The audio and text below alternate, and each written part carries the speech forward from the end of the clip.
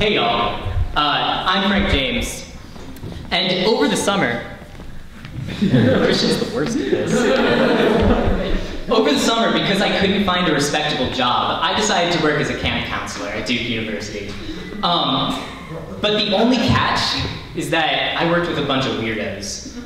So like the first day of orientation, my boss sits us down in a circle, and he says, all right, everyone, for our introductions, I want us all to say our name, where we're from, and our greatest existential fear. Go. So the girl on my left says, I'm afraid that everyone secretly hates me.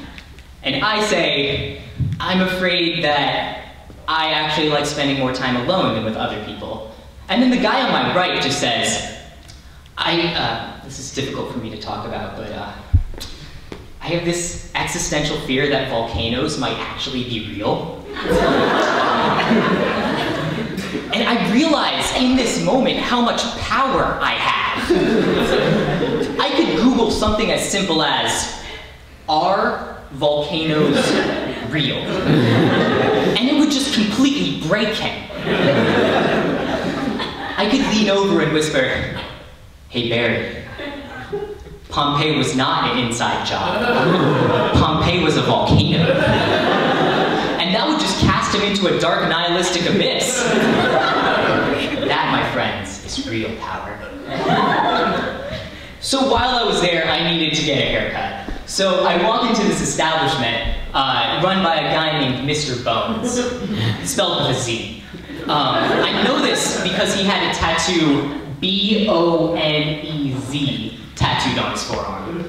Uh, he also told me his name was Mr. Bones. Um, so I walk in and I say, and he asks, you here for a haircut? To which I respond, hell yeah, I'm here for a haircut. Been waiting for this my entire life. Uh, this was my first mistake. so as he's putting the apron around me, I feel like I need to say something. So I say, I feel like I need to say something. Uh, Mr. Bones, call me Bonesy. Uh, Bonesy. Uh, I actually haven't been waiting for this haircut my entire life. I lied to you when I got in here. And for some reason, he just gets really angry, and he goes, You Bet you come from a family of liars and thieves. Liars and thieves, all of you. Uh, your mother, your father, you, all liars and thieves. I was so offended. I was so offended that I took his wallet while he wasn't looking. My mom was so proud of me.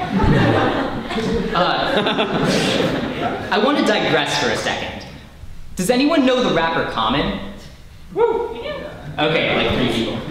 He's got this song called It's Your World, which is all about being uplifting and inspirational and uh, being who you want to be but about halfway through, it cuts to a bunch of kids' voices.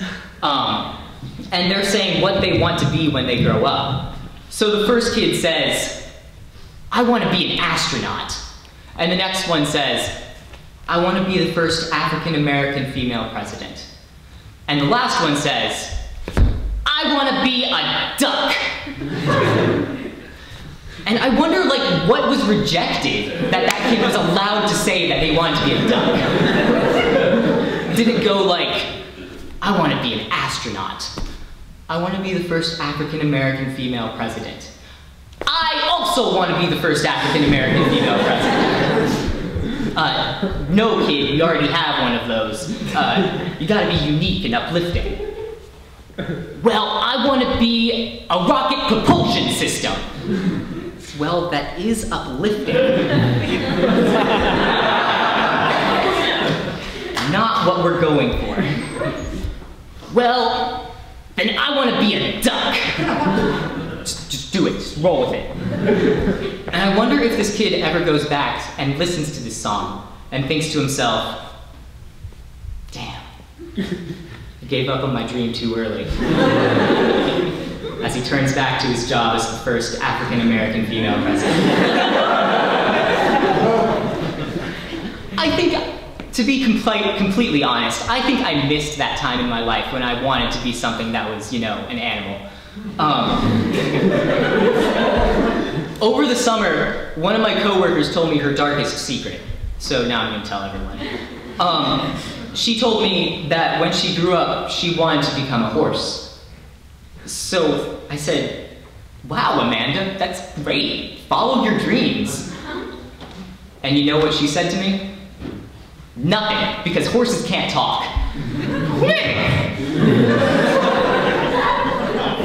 Uh, I just wanted to finish up with one last story. So after we put the kids to bed, uh, the other counselors and I would stalk around the building with water guns, and we would try and get the drop on each other. So one night, I heard some rustling from around the corner. So I get out my super soaker. I whip around the corner and I fire. And when the dust clears, it wasn't a counselor. It was one of the kids in my group. I had shot my own kid. He, he crumples to the ground. I rush over and I hold him in my arms. He looks up at me and says, Frank, all I wanted was a drink of water. So I say, Evan, I can't give you that, but I can't give you salvation. So I take my gun I put it in his mouth, and I pull the trigger. Next up, we have a comedian who can't open his eyes underwater. It's John Stark.